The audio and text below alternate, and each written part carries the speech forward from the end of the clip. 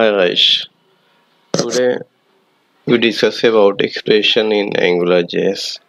Basically expressions are used to bind application data to HTML. Expressions are written inside double braces like this. And for example we have open make HTML expression HTML file. Yeah any name you provide and include AngularJS and define the ng app directives and here expression. Like we have to add two numbers then addition route add 2 plus 2 and we have we here put in curly braces 2 plus 2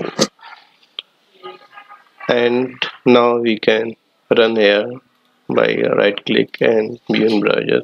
See here add 2 plus 2 here is output 4 so this way expression will work in angular.js also for like subtractions here subtract 10 minus 2 equal with html and put for binding here 10 minus 2 in double curly braces.